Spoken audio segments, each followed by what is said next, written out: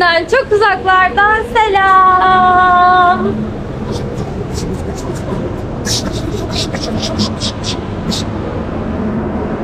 Buraya bir müzik falan bir şey koyman. Oh, oh. Bul işte. Bu nereye kadar böyle ağzından? Aa. Hepsini de gezmek zorunda mıyım ben? Düşük diyeceksin. Tabii diye. sırf onun için. Neyse oraya bir şey buluruz yani. Biz Singapur'dayız. Singapur'un ikinci günündeyiz. Ne yapıyoruz derseniz güzelce uyuduk sabah. Sonra kalktık nereleri gezebiliriz yaptık. Kahvaltı için bir bisküvi çay yaptık. Gerçekten kahvaltı yapmadık. Ne yaparız da bilmiyorum. Sümeyye yanımızda. Günaydın. Günaydın. Ne soruyor bu? Bir park varmış gitmemiz gereken. Çok güzel gözüküyordu. Bayağı da ünlü. Thank you. Çok ünlü duruyordu. Bunlar çok kızacak diye korkuyorum bu arada. Böyle suratına tutunca. Beni çekmeye hakkın yok diyecekmiş gibiler sanki. Üst geçitten geçeceğiz sanırım. O parka gideceğiz. Parkın adı ne? Fort Canning.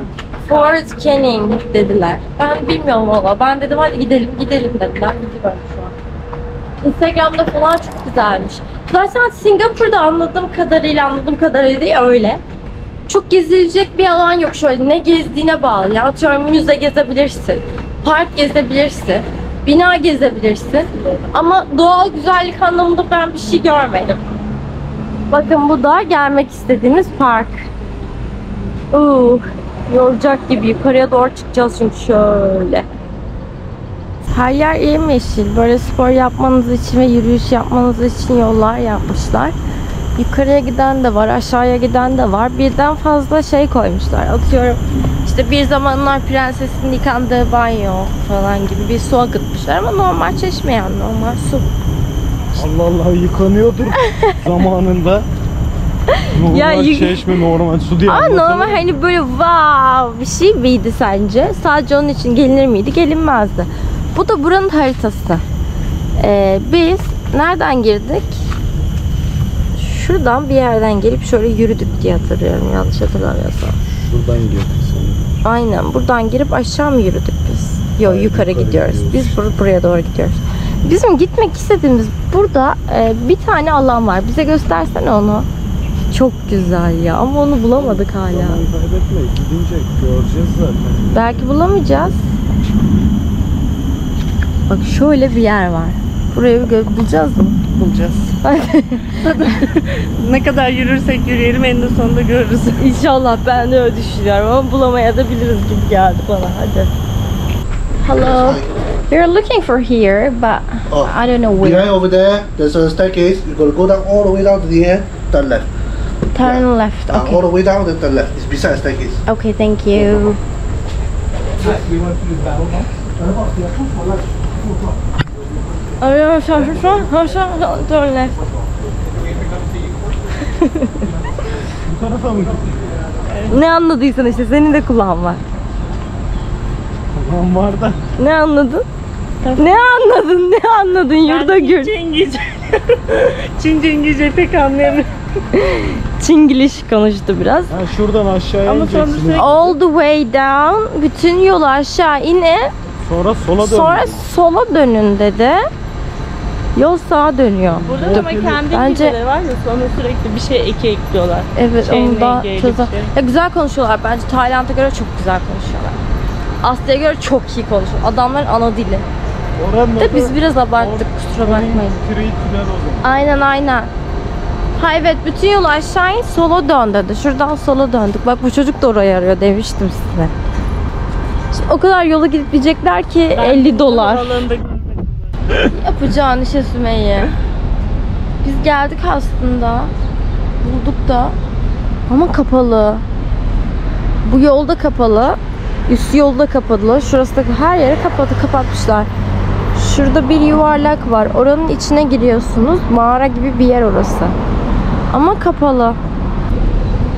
Singapur'un belediye başkanı iş yapmıyor. Bak o kadar küçük ki. Cumhurbaşkanı falan. Neden biz buraya getirdik? Güzel bir yerdi. Ama Kapalı. gidip görseydik. Elimizde bu da kalmadı. Nereye gideceğiz? Yakında bir yer daha var ya. Luna Park falan var gezilecek de ben Luna Park Bu gezmek tarafta bir istemiyorum. yer daha var. Gidelim oraya. Ne ya? Yol mu? Orchard Road mu? Ee, Aynen. evet. Ünlü bir tane de yolu var buranın. Yürüyüş yolu olarak geçiyor. Sağlı sollu cıvıl cıvıl şeyler var. Meşhur bir yolmuş yani. Bizdeki İstiklal gibi mi? Yani Gibi öyle hani? İstanbul'a gidip İstiklal'e gidersin ya o da öyle bir yol. Şimdi oraya gideceğiz. hadi geçelim. Kapalı değilse. Ülkenin ortalama bir ucundan diğer ucu 45-50 kilometre falan. Biz dün 10 kilometre gezmişiz. Bugün de bir 10-15 arasında yürüdüğümüzü düşünürsek neredeyse ülkenin yarısını yürüyerek gezdik. Öyle bir yer Singapur. Ee, genel olarak fikirlerimi paylaşmak gerekirse de her yer böyle kocaman kocaman binalardan oluşuyor. Aslında küçük New York gibi bir şey yani burası. Ee, Kuala Lumpur'da böyleydi. Sadece bina bina bina alışveriş merkezi. İnsanlar gerçekten çalışıyor yani sağlam çalışıyor. Sabah bir başlıyorlar akşama kadar çalışıyorlar. Akşam aktiviteleri de şu. Ee, bütün gün ofiste oturdukları için ya fitness'a gidiyorlar ya spora gidiyorlar ya e, işte bir iki Muay Thai kursuna falan gidiyorlar. Onun dışında da biz çok bir şey görmedik. Böyle arkadaşlarıma gideyim, eğleneyim, içeyim, buluşayım falan gibi sosyal tarzda hiçbir şey görmedik. Mesela kafeler var ama boş yani genelde. Burası çok tatlı bir sokakmış. Eski evlerin kaldığı, tarihinin de çok bozulmadığı bir yer. Ama bu kısımdan sonra aslında şehrin merkezi bu şekilde değil de daha böyle gökdelenlerden falan oluşuyor. Burası da bahsettiğimiz yol da aslında İstiklal'e benzeyen yol dediğimiz yer burası. Sağ sol alışveriş merkezinin olup başka bir şey göremedim ben. Yani yürüyüş yapabileceğiniz, kahve içebileceğiniz bir alan.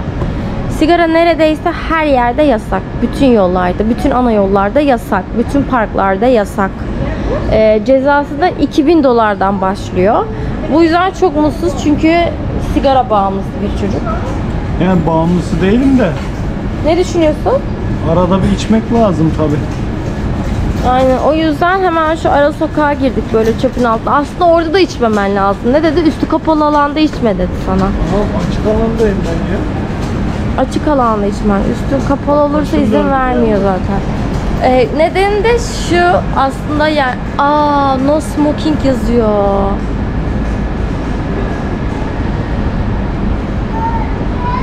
Koku yedik mi? Şey olmaz herhalde ya. Önünde de içmezsin ya. Ya ama oteldeki adam söyledi ya. Ya şöyle neden takılıyoruz bu kadar? Ya ne olabilir falan diyeceksiniz. Yani şu an gelip polis gelmiyor sonuçta ama şehrin her yerinde kamera var. Yani insanlar gerçekten izleniyor. Ve e, her kameranın başında polis mi var dediler. Ne dediler? İnanılmaz bir poli- polis kontrolü var. Sizin kameradan fotoğrafınızı çekiyorlar, işte işliyorlar yüz tanımı olarak. Havaalanından çıkarken de bunun para cezasını alıyorlarmış. İşte bak bu fotoğrafın şu kadar dolar, şu kadar dolar gibi. E sen bu gidişle 10 bin dolar bay bay ya. Çıkmam ülkeden. Bence de çıkma ya. Ya da ne cezası var? Parayı ödeyemezsen. Kırbaç. Umarım köpüklü kırbaçtır. Ya da sizdekilerden. Ya bence de kırbacı tercih etmen daha mantıklı çünkü Öldürdüm hemen. fark ettim yani de geçmiş olsun. Tam seni gören kamera var mı? Karşıda vardı. Hani nerede? Ya onun dükkan kameralarında polisler izlemiyordur ya. Bence de ya. Gel gel. Ama sonuçta no smoking yazmış da hadi bakalım. Böyle çoğu yerde drone uçurmak yasak. Yollarda koşmak yasaktır işareti var. Koşmanız yasak yani anlayamadım bu şekilde. Bisiklet sürmek yasak. Ee, çoğu yerde bisiklet yolları var ama anlamıyorsunuz yani. Başka kaldırım yok ama yaya yürümesi yasak. Sürekli yasak yasak yasak bir şeyleri yasak koymuşlar. Bak bir anda yolda bisikletle motoru yasakladı. Aslında bisiklet yolu oluyor şuralar. Ama burada yasakladı. Sigara için ise böyle 2-3 kilometrede bir böyle çöp alanının sadece etrafına izin veriyor. Mesela burada izin veriyor. Şurada izin vermiyor. Bak orada sigara içmek yasak. Ülkede o kadar yaşlı nüfus oranı yüksek ki bak her yerde neredeyse her yerde böyle temizlik işlerini 80 yaş üstü yapıyor. Yani biz havaalanında da öyleydi. Çok yaşlılar, inanılmaz yaşlılar. Ve sadece temizlik işlerine falan veriyorlar. Ben öyle gördüm. Ayak işleri yapıyorlar. Ayak işleri aynen bazen de garson falan olarak gerçekten çok yaşlı. Yani 80 yaş üstü vardır yani bazıları. Burası, ay müzeymiş burası. Şimdi bir de müzeye geldik. Böyle Ama sokak sanatlarının olduğu bir yere geldik. Buradan sonra da bir şeyler yemeye gideceğiz yani. Etraf. Buralarda çok böyle yüksek bina yok. Bak sevdim burayı. Burada. Çek beni. Beni bir çek. Beni bir çekin. Şu araba gitsin beni bir çekin. First Botanic Garden. Amerika Armenian Street. O zaman girmeyelim buraya. Kim Kardashian? O varsa girelim. Yemeğimizi yedikten sonra yolda yürürken bir anda dikkatimizi bir müze çekti. İçeriye girelim neler vermiş bakalım falan dedik. Ee, hapishaneleri gösteriyor. Yani Singapur'da bulunan cezaevlerinin sistemini gösteriyor. Bak şimdi. Burası bir cezaevi mi ne? Çık çık Allah kurtarsın. çık çık. Kaç yıl yediniz? 8 yıl. Oo ne yaptınız? Sigara içiyordum. Sokakta sigara içerken. Bunlar şey mi deniyor? Ne deniyor buraya? Nezarethane gibi. Tek kişilik mi? var? Tek Tek kişilik. kişilik. Aynen. Koğuşlara ne deniliyordu? Aa, aklıma gelmedi ya. Yaz buraya sen onu. Tek kişilik koğuşlara ne deniyor ya? Şey işte burası. Bir kişilik yerlere atıyor mu? Hücre. Hücre. Yeah. Söyle hücre diye. Dedim hücre. Hücre. Hücreler Bir burası. daha söyle. Hücre. Başka ne var? Diğer odalara da gidelim. Hadi gelin. Gidelim. Bakın burası bir müze. Birden fazla oda var. Mesela şey falan var. Hmm, bak. Makine salonu. 2006 yılında ki sistem aynısını zaten yapmışlar.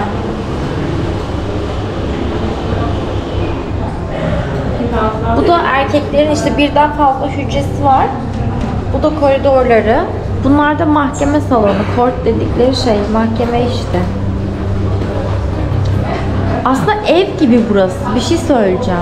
Bak ev, evi şeylerle kapatmışlar işte. Bizdeki gibi direkt cezaevi inşa etmek değil de sanki evin merdivenlerini falan bak bir bina şeyle kapatmışlar. Anladınız mı? Singapur'la ilgili bir şey söylemek istiyorum. Eğer benim gezilerime şu kadarcık güveniyorsanız eee beni dinleyeceksinizdir. Ya çok güzel bir yer. inanılmaz güzel. Böyle emek var, tarih var.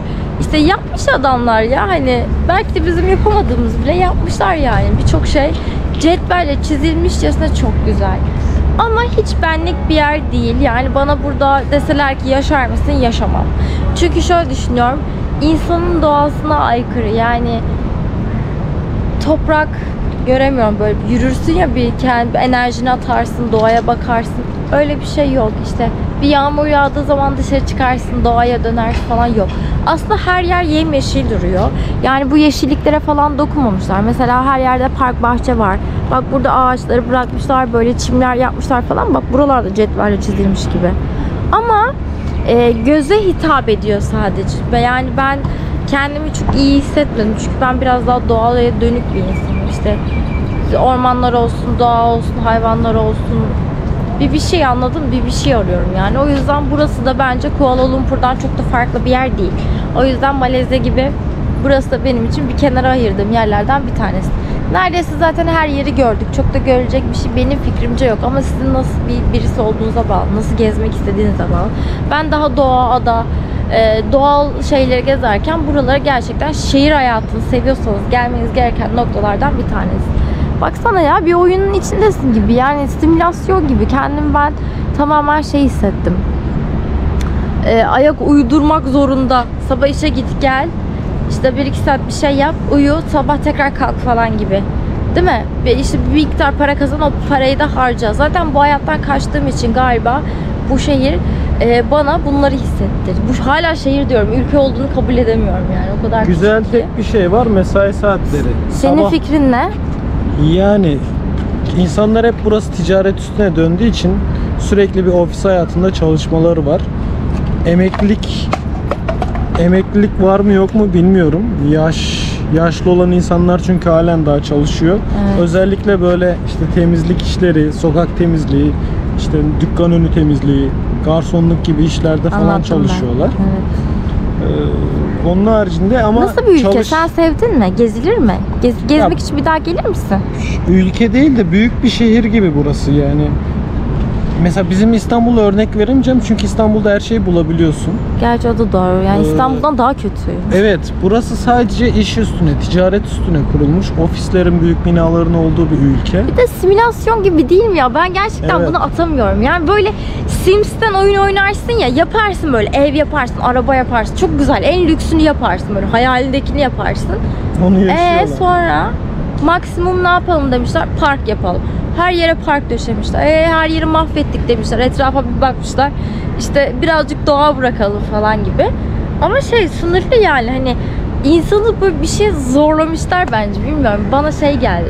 İnsanın doğasına aykırı bir yermiş gibi. Maketten yapılmış bir şehir gibi bence. Sen ne düşünüyorsun Singapur hakkında? Maketten yapılmış bir şehir diyorum. Bak hala ülke olduğunu kabullenemiyorum Evet. yani. Ya bazıları buranın fanı çok fazla.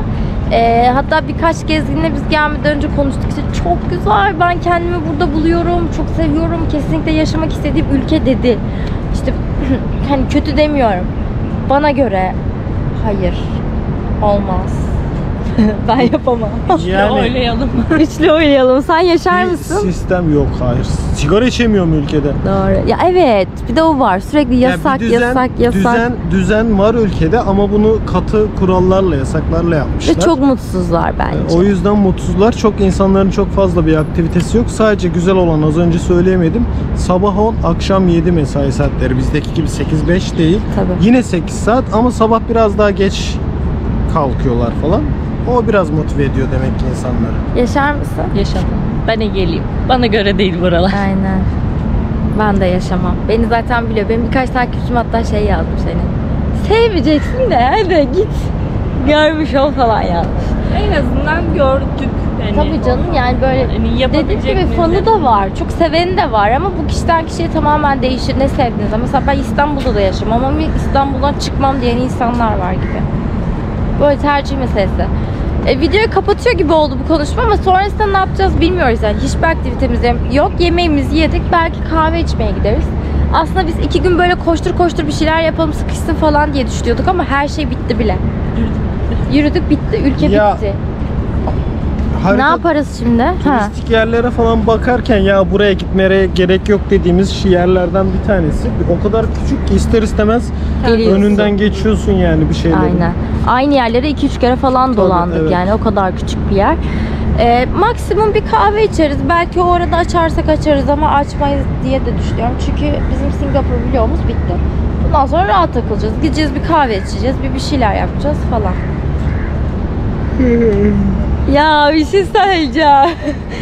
Çok para harcadım. Bir beğenirseniz hani çok para harcadım da bu video için. Para konusunda anlatsana ya. Yani gerçekten pahalı mı? Gerçekten pahalı mı? Yaşamak için gerçekten pahalı. Evler pahalı, kalmak pahalı, kiralar pahalı.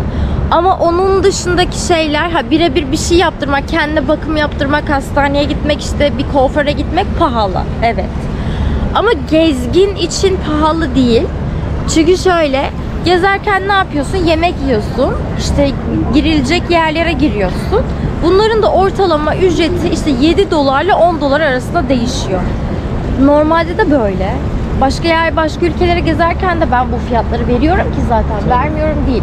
Burada sadece diğer ülkelerden farklı olarak ekstra ödediğim şey kalacak yerin ücretiydi. Kalacak pahalı. yere çok pahalı. Mesela normalde ben 10 dolara bile yer bulurken burada 60 doların altına kalacak yer yok. O da özel odada değil bu arada. Yatakhane yani 6 kişi. Hatta bizim oda 24 kişilikmiş. 24 kişilik bir oda. Ee, en ucuzu 60 dolardan falan başlıyor. Kalacak yer dışında bence fiyatlar ortalama aynı. Bir hamburger 6 dolardı.